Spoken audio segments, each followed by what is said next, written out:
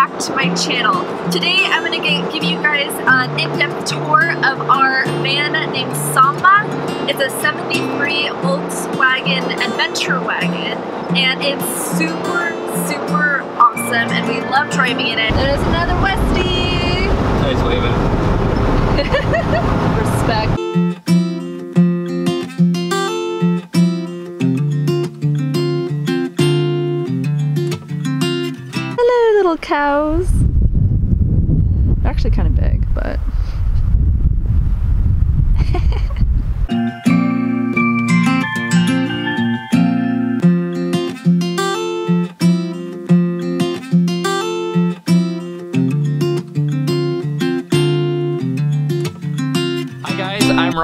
I'm gonna show you our 1973 Volkswagen Adventure Wagon camper bus. So this is something that we sought out to get last winter. Uh, we got it in Whitefish, Montana. People are really sweet. They're giving you the peace signs. They're really nice to you. They're always waving. It's just really fun. Um, but I'd always wanted one of these growing up in Santa Cruz and seeing such an iconic vehicle living in a beach town. This is a little bit of a different one and it's really rare. And when we talk about it, uh, you'll know why. So this is called the Adventure Wagon because on the Adventure Wagons, they all got these hard shell high top I can stand inside of and do some cooking and the canvas pop tops are cool like the Westfalias, but those can rot out and they're really small. So you'd have to like park and actually camp out somewhere with this. You have a hard high top at all times.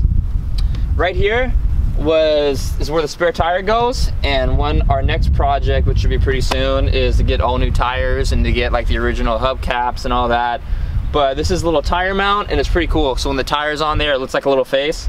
Um, and they have some pretty sweet tire covers that have the emblem on them but as you can see this is a 73 almost a 50 year old vehicle and the paint's amazing shape. Um, it's it's been in a garage, like I said, for over 30 years in Montana.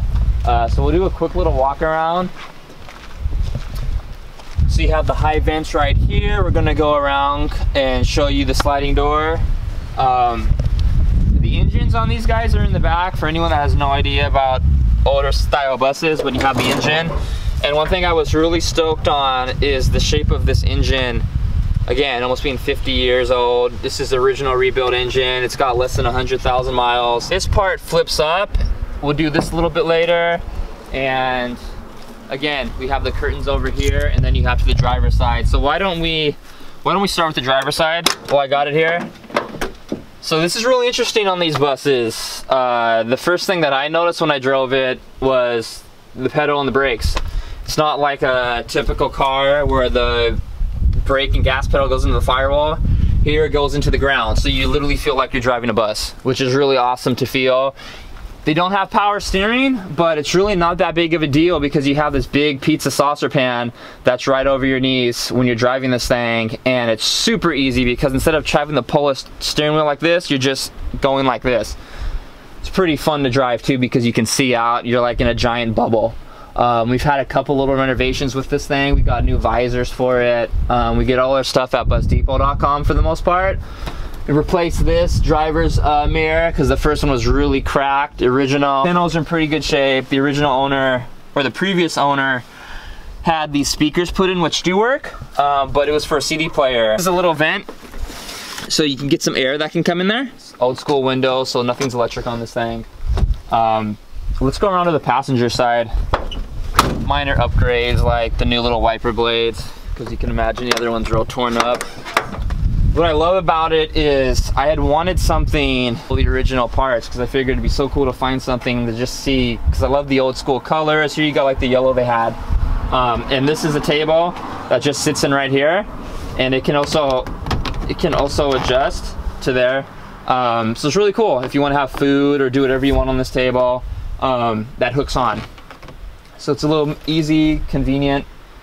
For this, we have the little cup holder was an accessory, and that's something a lot of bus drivers use because um, there's really not much of a cup holder. It was a cigarette tray, so we took that out, threw this in there. Um, we're going to be installing a parcel tray, so when you see the next video, you're going to see a completely different inside of this bus. This is going to be a nice parcel tray that's going to have drink holders and just stuff to throw in there. There's a button that goes right here, and there's a button that goes right here. So if we want to get some more curtain material, it buttons up to have a extra curtain. Um, and the history on these things are really cool. Uh, back in like the original catalog, this used to be a little cotton thing that laid out for the kids to sleep in because it was a family camper. So the kids would sleep over here. It was kind of crazy. Uh, it's got simple defroster heater, not the best heating, the vents, but nothing like a modern car. I mean, you have your defroster switch right here. Um, you have your emergency brake. You have the light switch, the hazard lights. Everything's just push and pull.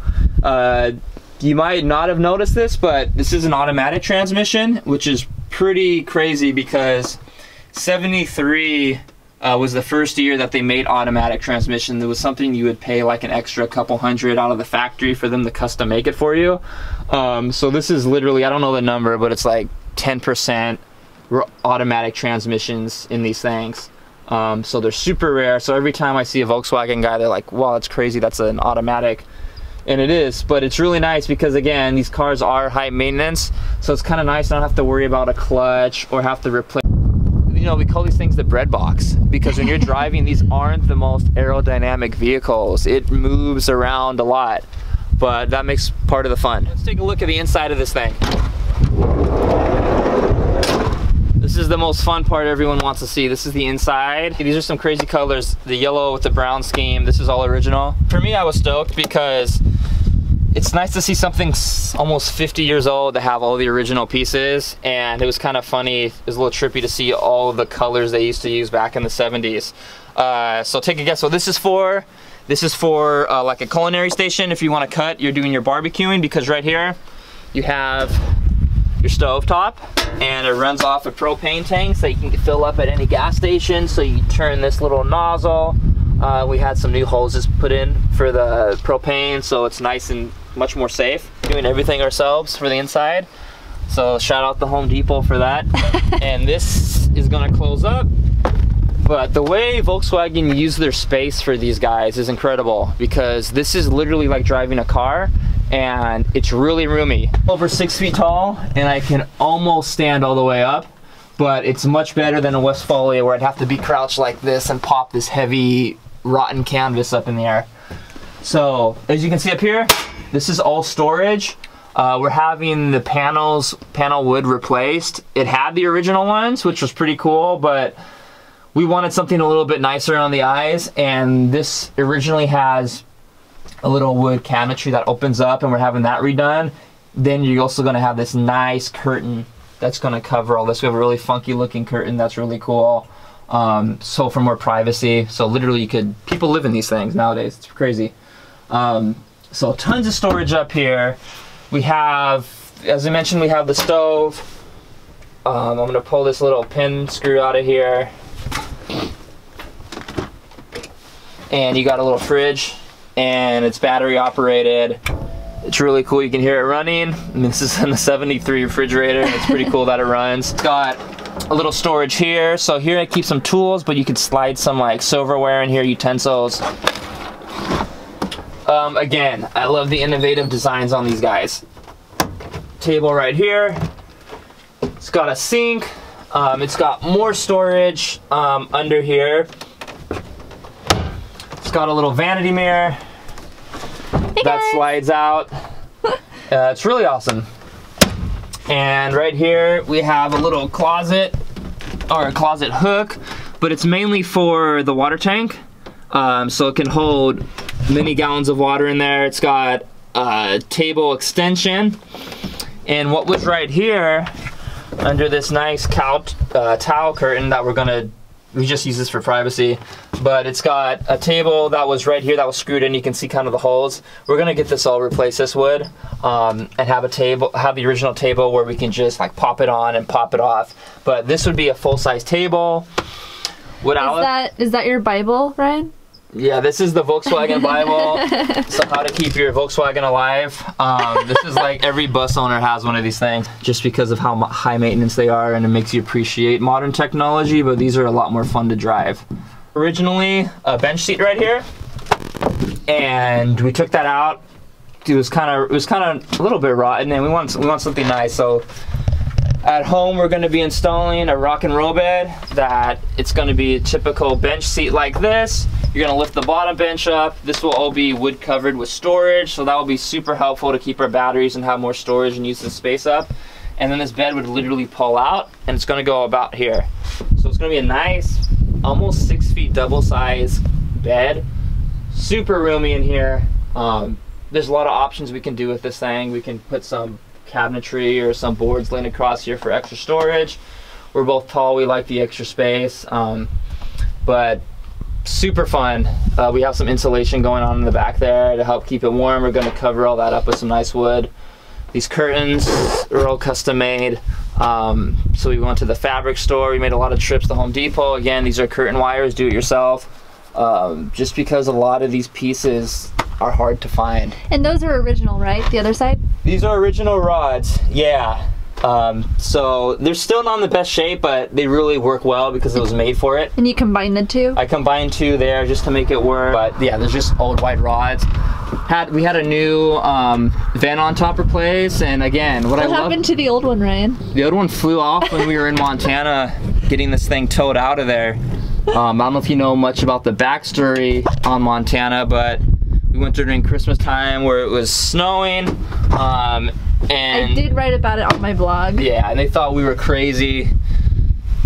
They thought we were crazy that we didn't drive this thing back, but with black ice, no power steering, this thing needed a little bit of mechanical work. It would have been a nightmare driving this thing out of there. And especially the lights, because these don't have high beam lights, those are something extra. I think this is pretty much it. We have some storage right here. It had this nice floors um, that the previous owner had put in, which is awesome. That saved us a ton of money. Back to the back in the trunk area. Real quick, you see this right here. They call these things air cooled for a reason. These buses don't have radiators. So you, when you're in hot weather, you don't want to drive too fast or overkill the engine because they could light up in flames. And this is air cooled because the cold air these again are ideal in beach cities or coastal temperatures where it's nice and cool because when you're driving, that's what's cooling the engine, is the air. So there's no water, there's no radiator, it's not water cooled. But that just adds to the fun. This is really fun because when we have this renovated, this is gonna be all nice and covered with foam cushioning again. This is gonna be a bed, so you can post up to the beach. You're gonna have this where you can lay down. Um, and we have already used that, but we've gone to the point now where we really wanna get that new bed in there and make it super comfortable and much more bigger. And most buses aren't gonna have this because this was, again, a custom feature. If you got the automatic, it had this little tag on it. So that was Ryan giving you guys a tour of the outside and the inside of the bus. If you guys like this video, give it a huge thumbs up. Check out my blog, alexdoeslife.com, and I will see you guys next time.